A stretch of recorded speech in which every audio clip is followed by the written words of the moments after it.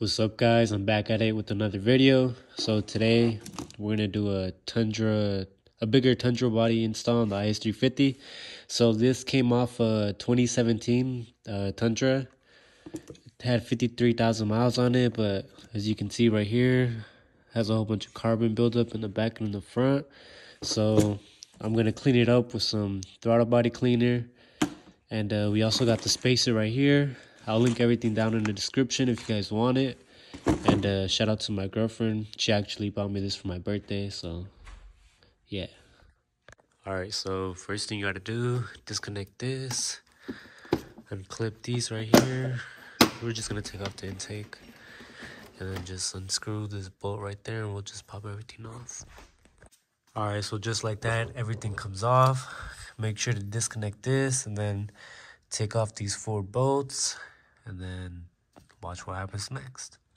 All right, so after you take this off, you see the hoses right here. You'll see one right here, one back there. Just use pliers or whatever you can and pull them off from both sides. All right, and just like that, we got it off. The hoses are right here. It was actually easier than I thought. I ended up using this little pick thing, just like shoving it in there, working around it. And uh, now we're gonna put the splicer in there. It's 3 8 by 3 8 on each side. Uh, that's what it looks like. The part number is right there. If you guys want to get it from Home Depot, that's where I got it from. All right, I struggled a little bit to get it on, but got it on. Should look like that. All right, guys, so this is the difference between the Lexus the throttle body, or the IS350 throttle body, and the Tundra one. As you can see, this one's smaller because it's 70 millimeter. This one's bigger because it's 76. So I'm gonna clean this up right now and let you guys know how it comes out. All right, guys. So uh, it's the next day. I forgot to mention um, this right here on the Tundra one. You have to break this off because it's not gonna fit. I left this one on the other one because I didn't feel like breaking it off. But I ended up. Uh, I was trying to cut it off with like these uh, scissors meant for cutting metal, but it was too much of a tight space. So I had to saw it off with the saw, and it came off. It didn't come out the prettiest, but I made it work. But yeah, you have to take that out for sure. So don't forget that it's gonna be straight on the Tundra one. You'll see what I'm talking about. Uh, I forgot to mention there's a bracket right here. I got it up here. It's two bolts.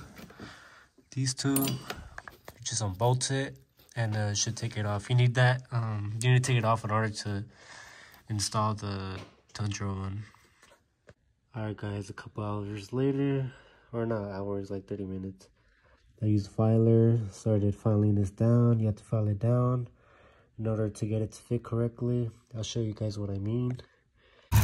Alright, so basically the reason why you have to file it down, you see the fuel line right here?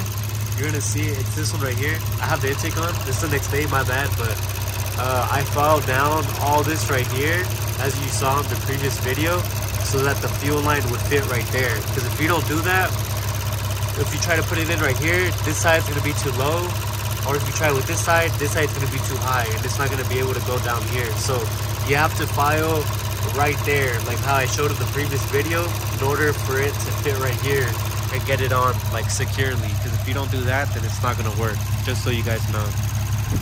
All right guys so after struggling for a while to get it on i finally got it on. You have to you see how the things fell right there?